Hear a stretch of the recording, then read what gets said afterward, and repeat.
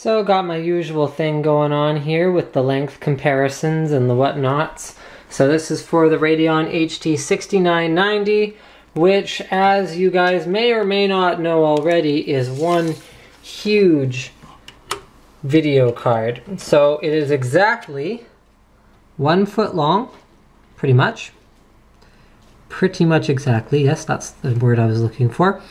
Okay, which makes it 30 and a half centimeters long from the PCI backplate all the way to the very end. So this compares quite favorably with probably only one other card, the 5970, which is the same length. However, if we take some other cards, like the single GPU 6970, which is just short of 11 inches long, work our way down to the GTX 580, which is 10 and a half inches long, then down to the 6870, which is 9 and 7 eighths inches long. And then finally, I've got a GTX 460 Hawk Edition here, just for context.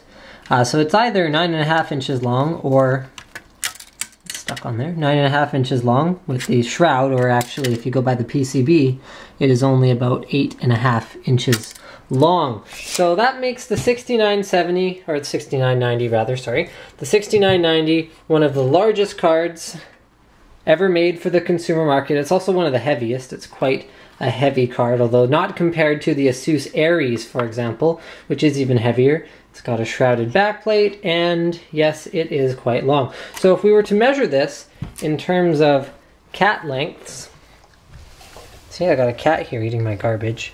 Hey, please don't eat that. See, please don't knock over my garbage and eat it.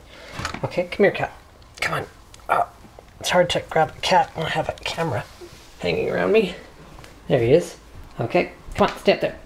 Okay, so in terms of cat lengths, the 6990 is approximately, oh, okay, about, about 0.665 of a cat. So there you go. That is my new unit of measurement that I have invented. And that is my length video about the Radeon HD 6990. Don't forget to subscribe to Linus Tech Tips.